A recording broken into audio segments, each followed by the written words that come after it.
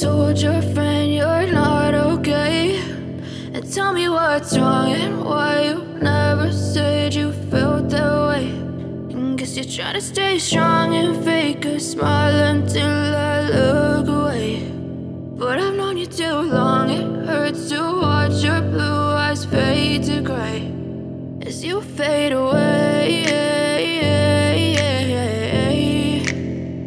As you fade away.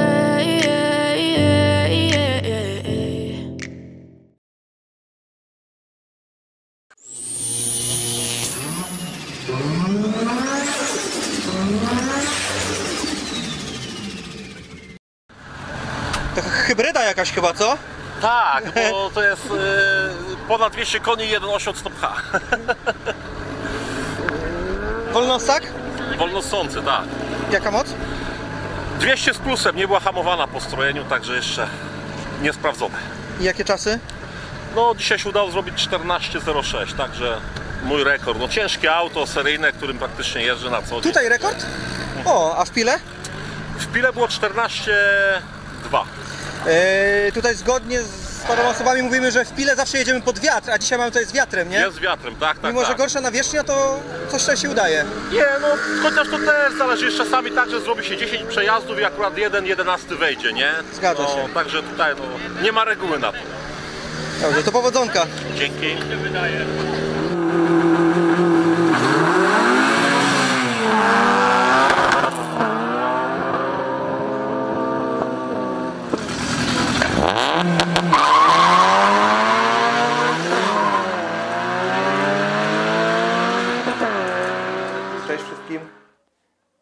nami Radek i gościnnie jesteśmy w mojej miejscowości. Dzień dobry. Radek, cześć. Radek zrobił ten pierwszy krok i jest pierwszym, który przyjechał do mnie, więc ja dzisiaj miałem bardzo blisko. Znaczy nie do mnie, bo jesteśmy gościnnie w wypożyczonym. Drogi haj za to zapłaciliśmy. No co zrobić? Radek wziął wszystko na siebie. Dobra, Honda Prelude. Dokładnie. Czwarta generacja po swapie na H22. No i parę zmian zaszło od momentu zakupu. Ja bym chciał wiedzieć, yy, czyli swap. Swap za Twoich czasów? Nie, nie, swap zrobił już poprzednik. Zrobił też sporo modyfikacji, no a ja, że tak powiem, realizowałem to jego dzieło, trochę poprawiłem, coś tam dołożyłem i jest to, co jest teraz. A seryjnie jaki był motor? Tam seryjnie był motor dwulitrowy, czyli ten 133-konny bodajże, słabszy. No to dobra. Kupiłeś auto kiedy? No teraz w sierpniu miną dwa lata od momentu zakupu. I jaki zakres modyfikacji auto przeszło? Jakbyś mógł tak, jak, żebym nie pytał dokładnie poszczególnie o każde elementy, tylko jakbyś tak się skupił na silniku, czyli od filtra stożkowego, po układ sący, kolektory wydechowe i tak dalej.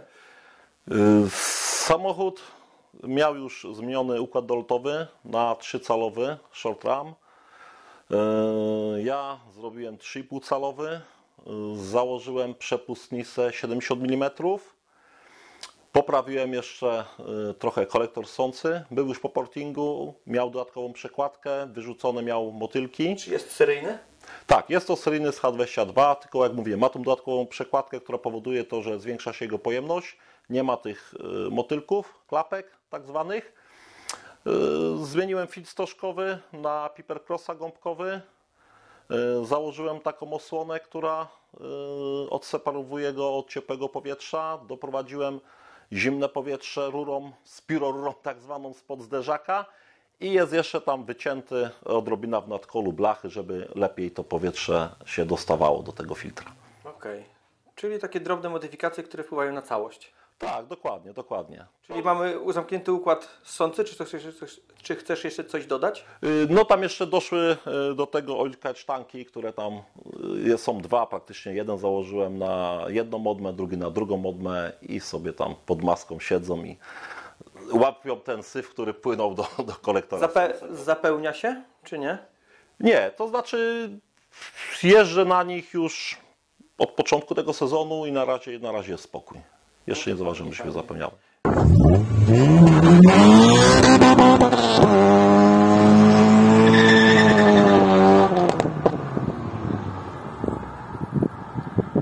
Kwestia kwestii silnika jest seryjny, czy coś jest, y, nie wiem, wałki? Kiedy kupiłem go był seryjny praktycznie. Yy, Nie chciałem go otwierać, bo silnik miał nieduży przebieg.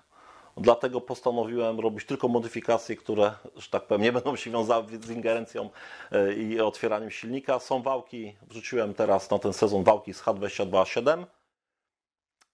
No i poza tym większe wtryskiwacze jeszcze. Czy H22A7 to jest Typer? Tak, to jest ten Snipera, który ma w serii 212 koni. Okej.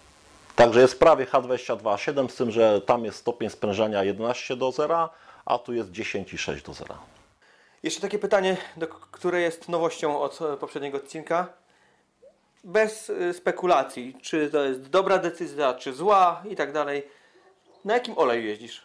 Marka też ważna? Czy lepkość? Tak, nie, marka. lekkość i marka. Yy, Valvoline VR1 5W50. Okej, jeździłem, spoko. Często zmieniam. Yy, olej, Olej. Nie, nie markę, tak? Yy, olej. Znaczy olej, tak, tak, tak, tak, tak. Jeździłem wcześniej na mobilu 5W50, no i ostatnio dwie wymiany na Valvoline. Okej. I to jest tylko tyle, więcej, Okej, więcej nie pozostawmy pytam. to innym. Tak, bo to jest temat taki rzeka, a ja, a ja to jest pytanie, które mnie interesuje i zacząłem Mhm. po prostu o to pytać. Czyli mamy tak, wałki w głowicy. Tak, wtryskiwacze większe są 550 RC, także z zapasem, ale tak jak się trafiły w dobrej cenie, więc, więc takie zostały założone. Pompy paliwa? Pompa paliwa jest y, zmieniona Valbro 255. Były trochę przygody, bo klękła akurat po strojeniu. Także okazało się, że już przy strojeniu Rafał Fox, którego pozdrawiam serdecznie, bo trochę się musiał namęczyć. I, I po samym strojeniu okazało się, że no, coś przestaje grać, wtyskiwacze jakoś nieliniowo pracowały. Okazało się, że to był akurat ten czas, kiedy pompa wyzionęła ducha i trzeba było ją wymienić. Jeździsz na jakim paliwie? Jest wystrojone na PB98, także ze łzami w oczach tankuje, ale jeszcze na tym paliwie. Spokojnie, można jeszcze przejść na setkę bądź na alkohol. Można, można, ale to na razie myślę, że, że, że wystarczy ta 9.8, wystarczająca jest. Dobra, czyli jeśli chodzi o kwestię y, na przykład dołu silnika, coś robiłeś, czy jest kompletna seria? Nie, nie, jest kompletna seria, nic nie było robione. Poprzedni właściciel robił taką rewizję, zajrzał do środka, stwierdził, że wszystko jest ok, zostało to zamknięte z powrotem i, i jeździ do dzisiaj. No i z efektami. Jakieś efekty są. No, jeszcze chwilę. Jeszcze chwila, tak. Kolektory wydechowe? Tak, yy, jest taki customowy kolektor założony 4.1. Kupiłem już yy, zrobiony, także, także. Ale on jest kupiony jako gotowiec, czy to jest wyspawany? Nie, nie, ktoś go spawał. Poprzedni właściciel yy, kupił go w jakiejś tam firmie, która wyspawała mu to. Jest, jest, jest, troszeczkę ma inną budowę niż Chińczyk, który był wcześniej. Są te rury grubsze i też mają nieco inny kształt, jakby tak bardziej yy, prosto wychodzą, nie załamują się od razu w dół i te spaliny dzięki temu mają łatwiejszy przepływ. Spoko. Czy to jest kwestia modyfikacji silnika i układów wydechowych, dolotowych wyczerpana? No jeszcze jest cały wydech e, zmieniony w firmie RCA Motors. Pospawał mi Andrzej pięknie wydech na 2,5 cala na dwóch tłumikach RM Motors, ponieważ no, poprzedni wydech był taki powiedzmy sobie nie na szczęśliwiej skonfigurowany. Tam było i 2,5 cala i 2,25 i kończył się dwoma calami, także A wiesz co? był problem. Yy, Gdzieś jest taka chyba szkoła, tak mi się wydaje, żeby zwężać te, to do końca z racji, żeby utworzyć ciśnienie, ale nie zawsze to sprzyja na przykład wyższym pojemnościom. W Twoim przypadku 2,2 litra, no to już tak. nie- Tak, no i tam ten odcinek dwucalowy to był praktycznie 2 trzecie wydechu. Także no niestety tam przy strojeniu wychodziło, że zapłon zaczynał się cofać, no, no, no były problemy. Dobra, a układ napędowy? Układ napędowy, już poprzedni właściciel zadbał o niego, także jest skrzynia Stipera yy, Akorda, czyli U2Q7 yy, ze szperą Torsen fabryczną, no i daje radę. Daje radę. Czy ona jest krótsza, czy dłuższa w porównaniu do tego, co było? To znaczy, powiem szczerze, nie wiem, bo tam były różne skrzynie montowane w tych yy, dwulitrówkach. Myśl, jest to chyba najkrótsza fabryczna yy, skrzynia. Są tam jakieś inne też o, o tych samych parametrach, z tym, że no nie mają szpery. Tam akurat szperę. No w Twoim przypadku jak najbardziej na plus. Dokładnie, dokładnie. Czyli kwestie modyfikacji mamy tak naprawdę już omówione, tak? No praktycznie tak, dosłownie zawieszenie gwintowane. No, jeszcze czyli do- zawieszenie, hamulce. Hamulce już były większe, 2,8, 2 chyba, czy 2,8, 2,8, 2 chyba są. No one wystarczają. No tam jeszcze myślę, żeby założyć lżejsze e, zaciski hamulcowe. Jest już na to pomysł, także myślę, że w tym sezonie pewnie nie, ale w przyszłym sezonie już będą, będą lżejsze te A zaciski. zawieszenie? Co z zawieszeniem? Y, Zawieszenie y, było, były sprężyny Eibacha bodajże, amortyzatory Kayaba. Ja założyłem gwint. Gwint jest taki dość kontrowersyjny, bo jest to ten chiński, nie wiem czy go dobrze wymówię, Max Speeden Goats, czy coś takiego. Ale jeżdżę nim drugi sezon i jakoś nie mam z nim problemu. Chociaż tam było tak, że niektórzy już po zakupie mieli problem, bo po wyjęciu z paczki okazało się, że potrafiły być wylane amortyzatory. Ale już znalazłem człowieka, który, który regeneruje je, modyfikuje, więc w razie czego odpukać, gdyby coś się stało, no to będziemy reanimować. Ale to jest malowane drewno. No trudno, no faktycznie. Mocniej puknąłem, tak że się przebiło. Spoko. Nie, jeśli chodzi o te Chińczyki, no to myślę, że co, co użytkownik to inna opinia, nie? Bo jeden trafi, tak jak ty mówisz, na tą taką lepszą Tak, partię, no z tym, że mówię, tam można go zregenerować i tam jest dobre to, że jest napięcie wstępne sprężyny i regulacja całej wysokości. Natomiast y, w tych, tych, tych, tych niektórych tańszych gwintach jednak, no mówię, obniżamy zawieszenie, sprężyna talerzynkami schodzi w dół, tłok amortyzatora też schodzi w dół i jeżeli nie ma tej regulacji siły tłumienia, no to przestaje spełniać swoją rolę, bo im jest niżej, jest mniej tego oleju, nie, z tym, z tym gazem pod spodem i to już nie spełnia swojej roli w ten sposób. Dokładnie tak. Jeśli chodzi o wnętrze samochodu? O wnętrze. Wnętrze praktycznie jest seryjne. Yy, Jest zmienione na polifta, czyli ten podłokietnik, słynna trumna, która tak mnie troszeczkę denerwowała, została zlikwidowana. Ona jest chyba bardzo... Znaczy się... E, bardzo... Zabrakło mi słowa. Pojemna? Nie. Pożądana. Tak? Czy to, to jest to? znaczy, Nie wiem, no, czy ona jest pożądana. Nic za bardzo nie pasowało, no bo gdzieś tam sięgnąć po jakiś drobiazg, trzeba było się do tyłu schylać. Jest też cięższa, no tutaj to właśnie yy, głównym, głównym mankamentem tego samochodu jest masa, więc wszystko, co tutaj jest zrobione, no to jest też pod kątem zachowania jak najmniejszej masy, nie? A ile waży auto?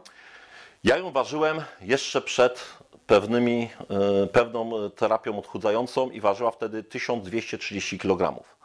Z tym, że była z kołem zapasowym, z jakimś małym wzmacniaczem. e, W środku jeszcze była maska e, standardowa, fabryczna, a, a zresztą myślę, do modyfikacji może tam zewnętrznych też do- dojdziemy później. Także no, no myślę, że parę kilogramów zeszło, parę kilogramów na pewno zeszło. W planach jeszcze w ramach zwiększenia komfortu i odchudzenia są, są lekkie fotele. Jeden fotel już zamówiłem y, z szynami też y, aluminiowymi. Także fotel waży, no teoretycznie według producenta miał ważyć tam 7,5 kg, okazało się, że jest to 8,8 y, ale są tam 1,5 kg ważą mocowania. No także zobaczymy, myślę, że jutro będę się z tym bawił, zobaczę jak wejdzie fotel kierowcy, także potem będę jeszcze kombinował z fotelem pasażera. Bo u Ciebie trzeba też dodać, że kwestia modyfikacji wnętrza ograniczona jest tym, że jeździsz w klasie street. Tak. Także no, wnętrze musi być seryjne, wszystkie elementy muszą być, no a mi zależy na tym, żeby było jak najlżejsze. Ty masz szyberdach, który jednak u Ciebie dużo waży.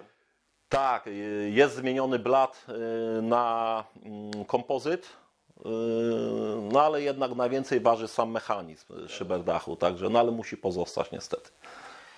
Mamy jednego gagatka w klasie, który oszukuje z szyberdachem. Tak, Paweł mówi o Tobie.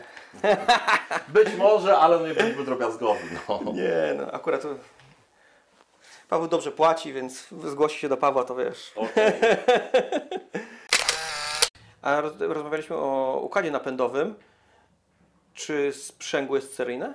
Sprzęgło jest seryjne, z tym, że tarcza jest obita kevlarem. Okej. No i na razie nie ma problemu, ładnie klei, procedura startu też jest wygrana i, i nie ma z tym problemu.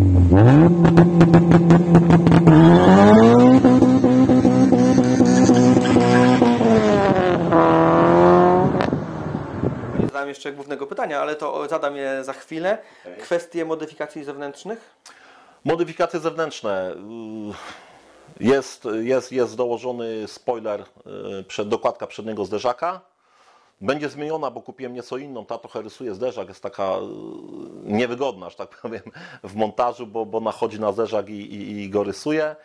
No są progi pomalowane i praktycznie no, dołożony jest jeszcze, jest dołożona też dokładka tylnego zderzaka. To jest jakiegoś akorda, kupę już nie wiem której generacji, piątej chyba bodajże. Ładnie się pasuje dosyć. Yy, No i jest spoiler. Tylnego zderzaka, no i przednia maska z laminatu. Akurat na razie jest surowa, jak zwykle jak się coś kupi, to w miarę jeszcze jakoś wygląda, nie radzi w oczy, no to się to odwleka, ale jestem już umówiony na oklejanie folią y, a la carbon, no i od razu szyberdach też w tą folię będzie oklejony. Nie myślałeś, żeby takie luźne pytanie, żeby obkleić nie tylko szyberdach, ale cały dach? Myślałem. Powiem szczerze, myślałem, y, zobaczymy. To jest wszystko, jak mówię, zawsze w kwestii y, planów, które tam może w tę tą stronę czy w inną pójdą i jest to możliwe. No zobaczymy. Bo też y, na, tak wspomniałeś tutaj, że masz ten spoiler zmieniony dokładki, ale na zawodach ostatnio widziałem Ciebie w zupełnie innym setupie. Tak. To było po konsultacjach z moim guru, Andrzejem Majkrzykiem, którego pozdrawiam. Również. Tak, no i wiadomo, że chodziło o to, że ładnie, ładnie, ładnie kleiło w pile, y, gdzie tam zrobiłem życiówkę i trzeba było poszukać gdzieś jeszcze jakichś drzemiących podkładów na, na, na, na poprawę tego czasu i założyłem zderzak, który jest tam wycięty lekko z tyłu, czyli już ta dokładka nie hamuje przy wyższych prędkościach. To i tam były wycięte otwory, które też podważył ten spadochron cały, prawda, który, który normalnie powstaje, też nie, nie, nie powinien hamować. No i zobaczymy. No na razie były tam testy yy, wstępne, ale zderzak będzie szedł ten do malowania, przedni tylni, mam zapasowy przedni, wrzucę wtedy tam ten tylni, no i zobaczymy. Okej, okej. Nie, tak jak wspomniałeś, każde takie minimalne zmiany, jeżeli walczymy o te setne, już nieraz powtarzałem, czy tysięczne sekundy, to te minimalne zmiany, nie dziś może, ale przy kolejnych jeszcze modyfikacjach, one złożą się na tą całość, która faktycznie gdzieś tam pomoże, nie? Mi też, Dokładnie, mi dokładnie. też Andrzej pomógł, na przykład rozmawialiśmy o lotce, którą miałem wcześniej, którą mam teraz. E, powiedział e, swoje no, za, przeciw i wiesz, ja nie dyskutowałem, bo Nie, jest- Andrzej odkręcał lotkę. to jest Andrzej nasz- jeździł, odkręcał lotkę i patrzył jakie są czasy, także No. to jest wszystko to jest nasz rekordzista Europy, nie? Dokładnie. Znaczy się, no teraz to tytuł mu odebrano, ale z tego co Na wiem, Andrzej, chwilę, Andrzej, na chwilę, Andrzej na wrócił chwilę na pewno, na chwilę, to była tylko motywacja. Tak. Potem będziemy mieli, gościli Andrzeja w, w materiale, ale dobra. e, Andrzej, starczy o tobie. Tak jest. Czyli kwestie zewnętrzne też mam omówione. Ale nie, poczekaj, jeszcze felgi jeździsz na innych. Felgi, tak. Y, Tutaj na co dzień no to są e, JR-y, prawda? No są niestety ciężkie. To są ciężkie felgi, ale udało mi się kupić e, SSR-y 16-calowe, 7 cali szerokości, no i jedna felga waży 5,5 kg, także no to jest kosmos. Y, A, Opony, a ta pewnie zdycha, co? nie wiem, na czterech kołach zszedłem 15,5 kg. Tak jak sobie zważyłem te koła i, i, i tamte koła, także no Trzeba też wziąć pod uwagę chyba, że semi-slick, na którym ty jeździsz, jest chyba cięższy od normalnej opony. Nie ważyłem y, samej opony, sam, sam semi-slick też w sumie myślałem, że jest cięższy, ale waży profil y, 205 na 50 16 waży 7 bodajże i pół czy 7,7 kg. Z tym, że to też wiadomo, że przy tych nalewkach to też na co się trafi, tak? Bo może być inna ta baza i będzie to różne, nie? Także z tyłu też zakładam takie 175 z lekkim naciągiem, trzy bary z kawałkiem, żeby mniejsze opory były i jakoś to jedzie. Czy kwestia właśnie zmiany tylnego koła na to wąskie, na mały opór, odczułeś w czasie jazdy? No na pewno, na Czy, pewno. czy chodzi mi o to, czy w momencie, kiedy stwierdziłeś, że zakładam takie wąskie opony, Mhm. to od razu te czasy były zbliżone na przykład do rekordu, czy, czy... To jest tak, że, że kiedy dokonałem zmiany, zmiany y, tych kół, no to akurat to się zbiegło z poprawą rekordu mojego, więc y, no na pewno coś to dało, nie? Na pewno coś to dało. Bo, bo pierwsze zawody, kiedy, które, które przejechałem w tym sezonie w Pile, to jeszcze były na y, starym setupie, y, znaczy jeżeli chodzi o opony, tak? Że, o koła, o koła, o koła, to był y, stary setup, czyli tam z tyłu były jakieś stalówki 185 czy 195, z przodu były y, 15 założone, mniejsze nieco, ale modyfikacje silnika, wydechu, te modyfikacje mechaniczne już były poczynione, więc potem kolejne zawody były w Broczynie, tam już były SSR-y, Próbowałem robić, robić, robić pierwsze przejazdy na, z przodu na tych piętnastkach.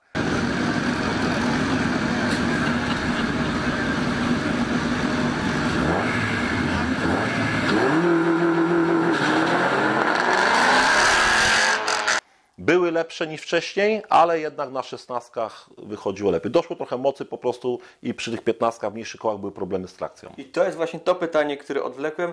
Mamy masę auta, wiemy jaka jest, wiemy jakie są modyfikacje, jaka jest moc. Warunki są idealne do ścigania się. No moc jest śmiesznie niska, bo to według ostatnich pomiarów na hamowni wyszło 211 koni, 211 Nm, także teoretycznie jest to niedużo, ale no jakoś silniejsze. ten motor ma? 200 koni. 200 koni mam. Z tym, że no wiadomo, to jest wszystko też od hamowni, bo, bo już czasami czytam, Po czytam o pierwsze- różnych modyfikacjach, to W mojej opinii hamownia hamowni nierówna. Tak. To raz. A dwa, że wykres, wykresy, którymi można się pochwalić na internecie, nie jadą. Tak, no tutaj trzeba przyznać, że ten wykres jest bardzo ładny, tak? bo, bo y, moment obrotowy jest płaski jak, jak, jak półka praktycznie. Y, Od 2000 obrotów jest bodajże jakieś tak 80% mo- y, tego momentu maksymalnego. Przy VTEC jest podbicie i prawie nie ma na samym końcu spadku. A wcześniej, kiedy tam dolot jeszcze był trochę mniejszy, niestety zaczynało się robić już podciśnienie na koniec, tak powyżej 6,5 tysiąca obrotów i czułem, że ten samochód już tak nie jechał. Nie? Natomiast teraz jedzie do samego końca odcinka 7800, więcej nie było sensu kręcić i nie ma z tym problemów. No i wiesz, i to jest też taki fajny przykład kolejny w naszych e, odcinkach, że na początku mieliśmy te auta wyśrubowane 1000 koni z plusem, teraz kilka odcinków jest o takich autach, które są dla wszystkich, czyli każdy może sobie nabyć i kwestią lat zmodyfikować i jeździć. I ja chcę właśnie pokazać to, że to jest, wiesz, nie tak jak na początku, że o przestraszeni wszyscy, że trzeba pakować 200 czy 300 tysięcy samochód czy więcej, ale kwestią takich zwykłych samochodów, normalnych, cywilnych, dostępnych na, na, na portalach społecznościowych, kwestia modyfikacji, można przecież się ścigać. Tak, no mówię, jest to, jest to auto, które no, jest w zasięgu. No teraz trochę wiadomo, poszły w górę te samochody, bo... bo Raz, że inflacja, dwa, że no, zostały te, które już są tak sponiewierane, e, no ale można kupić jeszcze przyzwoitych samochód, e, w przyzwoitych pieniądzach e, dobry samochód, można się pobawić i tak jak mówię, no jestem przykładem tego, tak, że można w tej klasie street wystartować prawie że seryjnym autem, które tam nie pochłonęło jakichś pieniędzy w, w ogromnych kwotach. Jest ta przyjemność z jazdy, jest przyjemność też, że, że się y, można y, pochwalić jakimiś tam wynikami zawsze, prawda? I fajny sport generalnie dla każdego. Czyli w tej kwestii modyfikacji pierwszego etapu odcinka, czy już mamy temat zamknięty, wyczerpany? No zostało jeszcze tam parę rzeczy do zrobienia, tak mówiłem, te fotele, no i traction bar, to jest, to jest priorytet mój w tej chwili, żeby założyć Polecam. traction bara. Polecam. Tak, ja na przykład poczułem, znaczy duża różnica, naprawdę. I auto skakało, gdzieś tam, gdzie była bardzo dobra trakcja, tam auto skakało. To to ja mam podobnie właśnie w tym momencie. I Mhm. po, po zainstalowaniu traction bara wszystko zniknęło. Nawet na ulicy, wiesz, duża, duża poprawa, więc naprawdę uważam, że to jest bardzo dobra modyfikacja, jeśli chodzi o poprawienie startów na ćwiartkę. No to w tej chwili no, ten start, ta trakcja to jest największy problem, tak? No bo poszukuję też opon, akurat problem jest z dostępnością ty- tych, tych opon w takiej cenie właśnie do takiego amatora, powiedzmy. Dostępnej cenie. Tak, w takiej, dostępnej cenie, w tym rozmiarze. A no wiadomo, że, że auto jest ciężkie. Ja też mam ten problem, że nie mogę y, z ciśnieniem mocno y, grać, tak? Bo jeżeli za mocno spuszczę ciśnienie w porządku, trakcja będzie na samym początku, ale już potem, jak już ta jedna ósma mili, te pół dystansu zostaje pokonane, auto niestety już tak nie jedzie. Także musi być opona, która ma dobrą przyczepność, żeby mi skleiła dobrze. No i potem jeszcze, jeszcze nie, ma, nie ma tych problemów. Y, Rozwiązaniem jest y, kompresor w bagażniku, który będzie Ci pompował koła. Można i tak, można i tak. Nie, no dobra, no to y, kwestię modyfikacji silnika jakieś planujesz? Nie, na razie odpukać. Jeszcze raz to malowane drewno. Dopóki się nic nie stanie, nic mnie nie zmusi, nie zmusi do, do, do modyfikowania. Silnik zostaje taki jest, jak jest.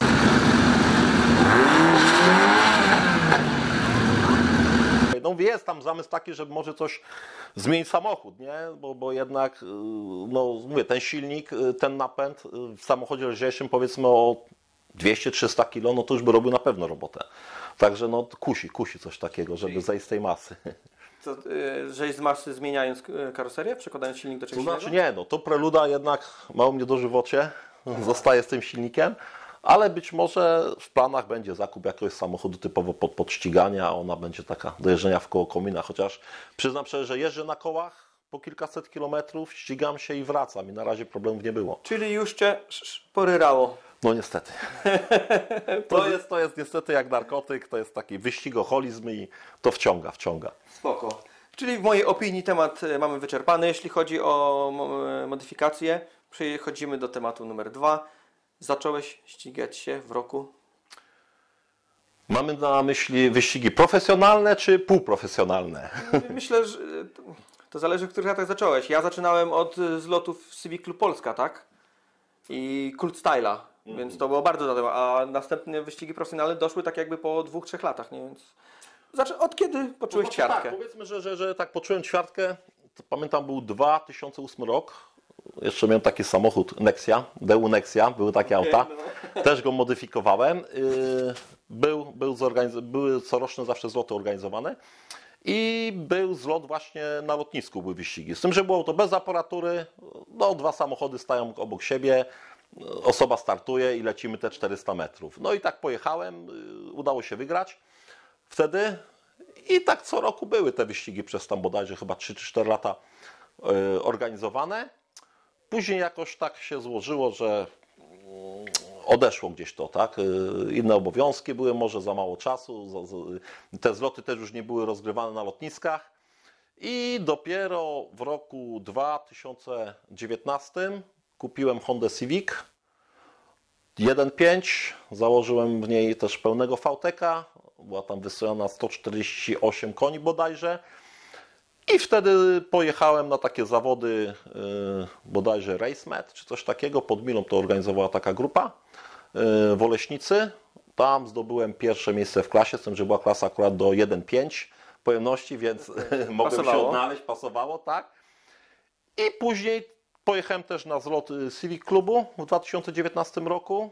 Tam zająłem drugie miejsce i już mnie tak chwyciło, tak? No i mówię, i od tego się zaczęło. I później z, cały rok 2000, cały sezon 2020 i 2021 przejeździłem w King of Poland.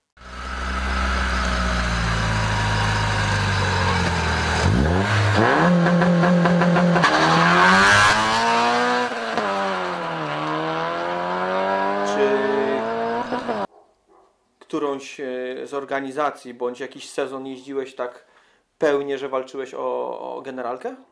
No to 2020 i 2021 rok. Z jakim efektem? No, dwukrotnie wicemistrz y, King of Poland w Street FWD NA. I tak jak wspomniałeś przy, przy temacie modyfikacji, jeździć na kołach. Jeżdżę na kołach, tak, na wszystkie zawody jeżdżę i wracam na kołach. Prawdziwy street.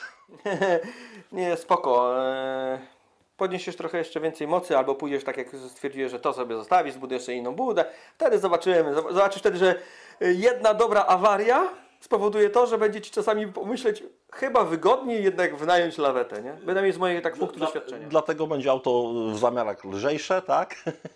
I, i, I wtedy będę je woził na lawecie zapewne. W tym sezonie W tym sezonie y, miałem raz czwarte miejsce w King of Poland i raz trzecie. Y, na Grand Prix Polski też jeździłem, byłem na trzech rundach bodajże. No i trzykrotnie czwarte miejsce poza podium. Niestety no, jest taki golf y, z, DSG poza zasięgiem, no i dwa Civiki z kaseriami. No to niestety Yy, myślę, że tutaj akurat w każdym przypadku no one mają trochę więcej mocy. Tak, no, mają I więcej masa. mocy i mniejszą masę. No ja generalnie startuję W twojej, przepraszam, przerwę Ci. W Twojej klasie jeździ Marcin, a Marcin już yy, był u nas w odcinku. Tak. Na kolejnych dwóch panów przyjdzie pora. Tak, dokładnie. No mówię, ja mam chyba najcięższe i najsłabsze auto w tym momencie, jeżeli chodzi o auta startujące w, w, w tych zawodach i w tej klasie. To dobra, to teraz pytanie, którego nigdy nikomu nie zadałem. To po co jeździsz? Dla przyjemności. To jest dla własnej przyjemności. Także yy, takie marzenie kiedyś miałem, żeby wskoczyć na tą Drake Race listę. Udało się, mam tam bodajże 18 pozycję. Także taki cel został jakiś zrealizowany. No a teraz jest poprawianie głównie tych własnych rekordów. Tak? Chciałbym poprawić. Udało mi się pojechać, pamiętam, yy, pierwsze przejazdy preludą to było w granicach 14,7. Yy, potem zszedłem na bodajże 14,39. I w tym roku było 14,89 w Broczynie, gdzie teoretycznie nie było przyczepności. Zaspałem start. nie byłem przyczyniony do tego, że, że, że tam się startuje bez tej osoby prowadzącej, tak? która pokazuje, że go, tak, tak można, tak, że jest tak. choinka, już y, może, może wystartować. Już obaj zawodnicy gotowi, procedury startu odpięte.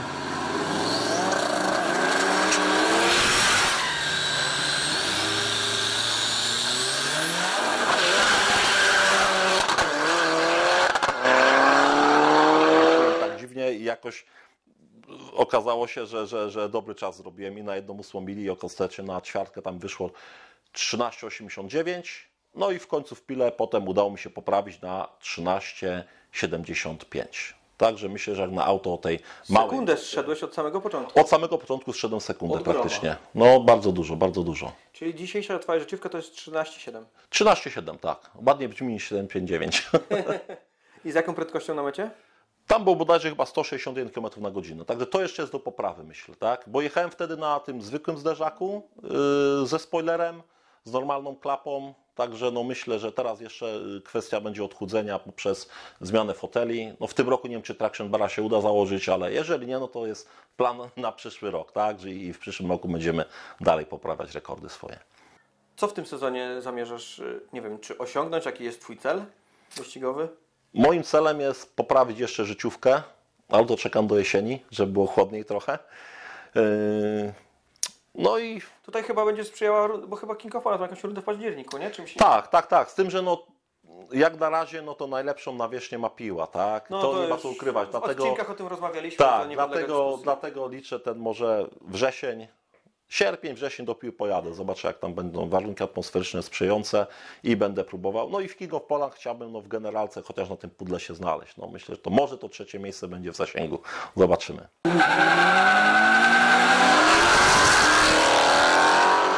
Czy z racji tego, że startujesz na 1 czwartą mili, yy, upalasz auto na ulicy? Nie, powiem szczerze, że jakoś nie mam takiej ciągnoty, tak? Że, że czasami widzę te minę tych kierowców, którzy, którzy e, próbują tam mnie podpuścić, że tak powiem, do ścignięcia, ale zazwyczaj opuszczam. No czasami, no, jeżeli są warunki dobre do tego, no to, Jesteśmy facetami, to, no to, się, to, się, to się no. pociągnie, tak? No jest satysfakcja tam objechać powiedzmy 10 razy droższe auto, nie? Masz jakąś ciekawą anegdotę z tym związaną? Nie, chyba w sumie ciężko by mi tak strzelić teraz z pamięci, nie? No ale mówię, no czasami jest zdziwienie, czy, czy, czy pamiętam też kiedyś się, się złapałem na, na autostradzie z jakimś tam nowszym modelem BMW, no i z tak zwanej rolki, prawda? Myślałem, że nie dam rady, ale jakoś się okazało, że myślę, że odtąd, odtąd ulubionym e, filmem e, tego konkurenta będzie znikający punkt. Spoko. Czy myślałeś o tym, żeby w przyszłości zmienić klasę? Chyba nie. Chyba nie, dlatego że jakoś ta klasa street właśnie mi się podoba z tym, że są to samochody takie, które, no bo ten wygląd też jest ważny dla mnie. No, osobiście jakiś takim estetą jestem. Staram się, by ten samochód w miarę wyglądał i myślę, że to czasami też się zdarzy, do, pojedzie się w klasie drag, no bo więcej przejazdów jest na przykład wtedy, nie? Jeżeli tam widać, że jest duże, duże nadciążenie zawodników, no to czasami się wykupi też dodatkowy przejazdy w klasie drag, żeby... Ale podyktowałem tylko większą ilością e, przejazdów, Przejazdów, nic tak. więcej nie zmieniasz w samochodzie. Nie, no tam no, po prostu wtedy no, będzie- może fotel pasażera mogę wyciągnąć nie? i to wszystko. Czy chciałbyś coś jeszcze dodać od siebie? Ja to generalnie chciałbym zachęcić wszystkich, tak, żeby spróbować, pojechać, zobaczyć. Bo czasami mówię, no na pewno każdy próbował, czy to na ulicy się pościgać, ale jednak coś innego, jeżeli jest to, raz, że jest bezpieczne, dwa, że jest fan i nie trzeba koniecznie walczyć jakieś tam pozycje, miejsca, można robić to dla własnych życiówek, nie? Pobijać własne rekordy, nie, nie zawsze, no miło jest jak tych pucharów gdzieś tam na półce trochę stanie, wiadomo, ale to, żeby się sprawdzić, doskonalić, prawda, łapać coraz lepsze czasy, coraz precyzyjniej zmieniać biegi, to dużo daje. I jeszcze zapomniałeś powiedzieć, żeby subskry- subskrybować kanał. Oczywiście. To już jest obowiązkowa pozycja, subskrypcja, taka łapka jest tam, trzeba wcisnąć i Tak jest. każdy nowy film wtedy jak się pojawi, no to dostaje się powiadomienie. Czadowo. Czadowo, tak jest. Eee, takie pytanie finalne, kończące, kończące zawsze odcinek. Kwestia pieniędzy wydanych na modyfikację od kiedy posiadam Hondę Prelude. Dzisiaj bym kupił Na pewno drugą taką preludę. Ale tak nie wiem, nie liczę tego, to się nie liczy. To, to, to naprawdę trzeba by to usiąść i, i powoli liczyć. To, to, to nie ma sensu, myślę nawet. To Bo- może później za bardzo boleć. Raz, że może za bardzo boleć, e, a dwa, po to sobie zaprzątać. To jest hobby, tak? No można iść na imprezę, stracić, kurczę, yy, więcej pieniędzy niż człowiek yy, straci na, na, na, na pokrycie yy, wpisowego i, No wiesz co, ja też rozmawiałem z ludźmi, którzy wędkują, nie? Ja sobie nie zdawałem, że wędkowanie profesjonalne może być takie drogie. Dokładnie, dokładnie. Tak, no cały sprzęt to wszystko kosztuje, także no tutaj jest kwestia, tak samo mówię, no można kupić samochód za, za 100 tysięcy, a można kupić samochód za, za kilkanaście tysięcy, dołożyć, żeby to wszystko wniosło powiedzmy 40-50 tysięcy i da się tym jeździć. Lepiej niż tym za 100 tysięcy nawet.